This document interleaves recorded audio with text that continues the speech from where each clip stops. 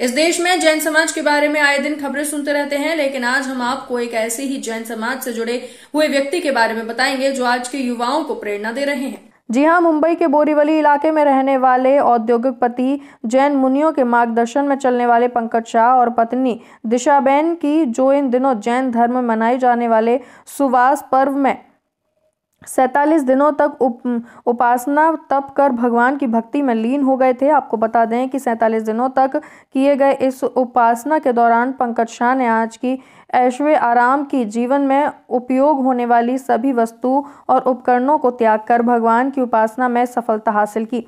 जैन धर्म में ये सबसे कठिन उपास उपवास होता है जो सैतालीस दिनों तक चलता है। इस उपासना तप का किस तरह से पालन किया जाता है और उपासना तप से मानव जीवन में क्या कुछ बदलाव आता है? इसके बारे में क्या कुछ कहना है? पंकज शाह का आइए आपको सुनाते हैं।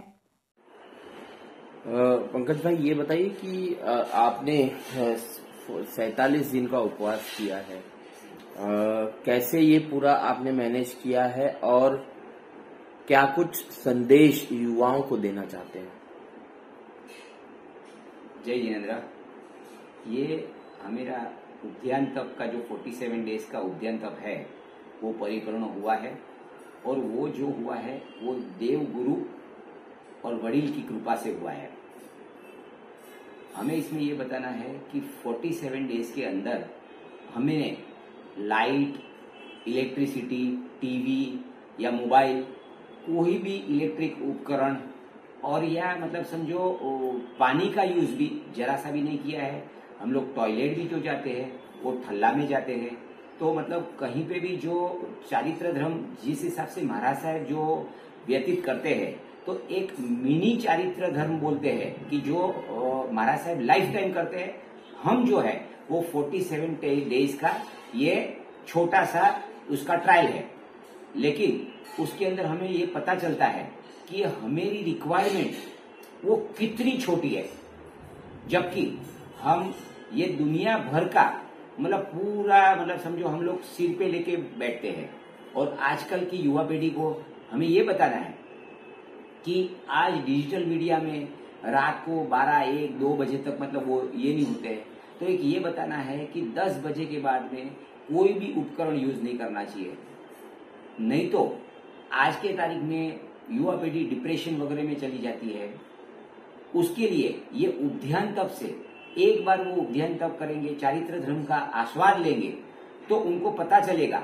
और वो कंपैरिजन दोनों में करेंगे कि संसार का कंपैरिजन और चारित्र धर्म का कंपैरिजन तो उसके अंदर मैं गारंटी देता हूँ कि चारित्र धर्म का जो है, वो उन्हें सही आस्वाद और सही टाइम में मिलेगा।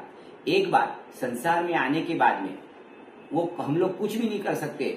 युवा पीढ़ी अभी भी उनके हाथ में टाइम है। तो उसके लिए वो डिसीज़न ले सकते हैं। तो मेरा एक ही कहना है कि उद्यान तक लोगों को ये लगता है कि ये इम्पॉसिबल चीज़ जैसी है। लेकिन आज के ये काल में भी बहुत ही देवगुरु की कृपा से ये काफ़ी अच्छी तरह हो सकता है। आप एक, आप एक इंडस्ट्रियलिस्ट है तो किस तरीके से इंडस्ट्रियलिस्ट को आप मैसेज देना चाहेंगे? क्या कुछ ये इंडस्ट्रियलिस्ट लोगों को कहना चाहेंगे कि आ, किस तरीके कम संसाधनों में वो अपने आप को भी सरवाइव कर सकते हैं? पीछे पीछे हमने देखा था कई सारी इंडस्ट्रीज़ ने सुसाइड भी कर लिया था। तो क्या संदेश देना चाहते हैं आप? और चारित्र धर्म का कंपेरिजन तो उसके अंदर मैं गारंटी देता हूँ कि चारित्र धर्म का जो है, वो उन्हें सही आस्वाद और सही टाइम में मिलेगा। एक बार, संसार में आने के बाद में, वो हम लोग कुछ भी नहीं कर सकते। युवा पीढ़ी अभी भी उनके हाथ में टाइम है तो उसके लिए वो डिसीज़न ले सकते हैं। तो मेरा एक ही कहना है कि उद्यान तक लोगों को ये लगता है कि ये इम्पॉसिबल चीज़ जैसी है। लेकिन आज के ये काल में भी बहुत ही देवगुरु की कृपा से ये काफ़ी अच्छी तरह हो सकता है। आप एक, आप एक इंडस्ट्रियलिस्ट है तो किस तरीके से इंडस्ट्रियलिस्ट को आप मैसेज देना चाहेंगे? क्या कुछ ये इंडस्ट्रियलिस्ट लोगों को कहना चाहेंगे कि आ, किस तरीके कम संसाधनों में वो अपने आप को भी सरवाइव कर सकते हैं? पीछे पीछे हमने देखा था कई सारी इंडस्ट्रीज़ ने सुसाइड भी कर लिया था। तो क्या संदेश देना चाहते हैं आप? मैं आज एक इंडस्ट्रियलिस्ट हूँ और चंदन माउथ फ्रेशनर करके हम लोग मतलब हम लोग का बिज़नेस है। लेकिन मैं सभी इंडस्ट्रियलिस्ट को ये बोलना चाहता हूँ कि अपनी रिक्वायरमेंट बहुत कम है। सेकेंडली कि हम लोग मतलब जब भी मतलब जाना चाहते हैं तो अपने व्यस्त पूरे दिन का मतलब जो अपना शेड्यूल रहता है, उसमें हमने मतलब ये है कि भाई हम मतलब जा ही नहीं सकते। लेकिन एक बार हम लोग उसमें मतलब प्रवेश करते हैं तो जो आठ दिन के अंदर जो शांति मिलती है तो उस हिसाब से कि ताकि हमें खुद को अपना मतलब शरीर और आत्मा दोनों है तो जो आत्मा के लिए जो हमें टाइम देना है, कि जो हमारी लाइफ चली जाती है तो आत्मा के लिए हम लोग उसमें टाइम देते हैं और उसके अंदर उसकी जो शांति है, वो हमें बहुत सारी अच्छी शांति मिलती है। तो हमें मतलब यही बोलना है कि ये कोई भी बड़े मतलब जो बिजनेसमैन वगैरह है, उनको भी अपने हिसाब से टाइम निकाल के इसके अंदर शुरुआत करनी चाहिए। पंकज भाई, जैसे आपने बताया कि सैतालीस दिनों तक आपने इस कठिन तप को, व्रत को आपने पालन किया, लेकिन इस आज के समय में जब लोग आधुनिक सुख सुविधाओं की ओर भाग रहे हैं लोग ज़्यादा ऐसो आराम की ज़िंदगी जीना चाहते हैं। और आपने कहा कि आज की जो उपयोगी वस्तुएँ हैं उसको त्याग कर आपने सैतालीस दिन इस व्रत कठिन व्रत को पूरा किया है। किस तरह का अनुभव रहा इन दिनों में? कि क्या कभी ऐसा लगा कि पानी जैसे आपने कहा पानी भी नहीं पीना है? पानी तो, पीना है हाँ। लेकिन पानी का व्यस्त नहीं करना है। यूज़ मतलब ये नहीं करना है ज़्यादा। खाली पीने के लिए पानी पीना है। जैसे आज के लोग इलेक्ट्रॉनिक उपकरणों की तरफ़ भागते हैं। कि आज मोबाइल चाहिए, जैसे अभी आपने कहा मोबाइल ना यूज़ करें। लेकिन क्या आपको लगा इन सैतालीस दिनों में कैसा अनुभव रहा कि बिना आधुनिक सुख सुविधाओं के रहना?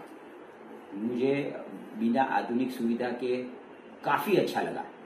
मुझे तो मतलब ये लगा कि ये जो चारित्र धर्म है, वही सच्चा धर्म है। लेकिन हम ये बिज़नेस के मतलब ये जो संसार के चक्र में है तो उसके लिए कुछ नहीं कर पाते हैं।